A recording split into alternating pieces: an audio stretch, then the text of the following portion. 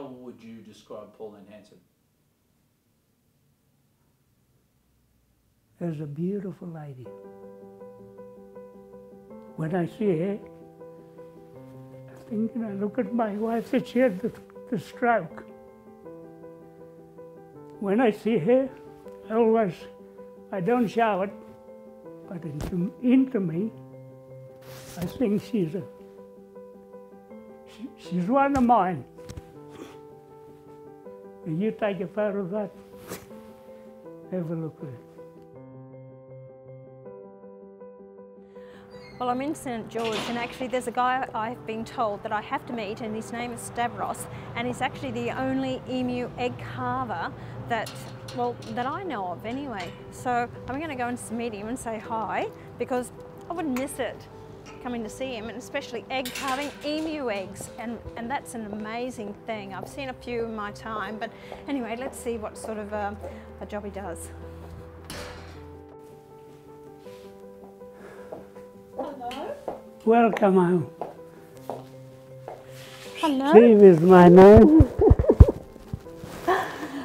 Stavros. You are. That's my wife, Is it Reddit. ready? Unfortunately, she had a stroke. oh, She's in Toowoomba with my daughter. She's Yeah. getting on all right. And if I take a photo with you and she see it, it'll make her day. Well, let's do that, right? Let's do that. This is you. That's me wife there. wife. No, oh, wow. That's me there, there, there, there, Hey, there, everywhere. They're there. Good looking fella, aren't you? Aren't you? Hey? there he is up there.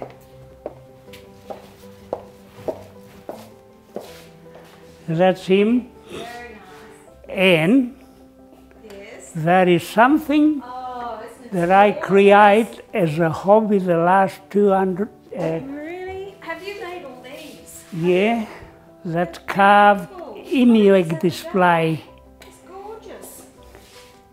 Bar- Barack Obama's got an egg on his desk.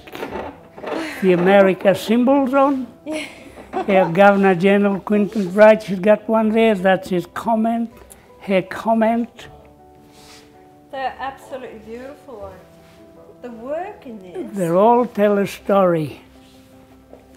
1956 Olympics. Yeah. Commonwealth Games in Brisbane Melbourne Olympics. the disaster in America, the year of peace, the bicentenary one, Sydney scenes, royal visit to Australia for the Sydney Opera House Oh, opening by the like Queen. America's carving. Yeah. Expo 88, the first marathon runner in Greece way back 1896. They went to Greece and back the year 2004 Olympics. And this is my latest eggs that I carved, commemoration the First, Second World War, the red poppies, red carpets. Put a red light in to serve the purpose.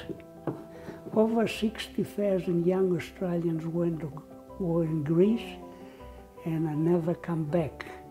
And I was five, six years of age when our village got burned to the ground and two youngsters with the hat, they come here.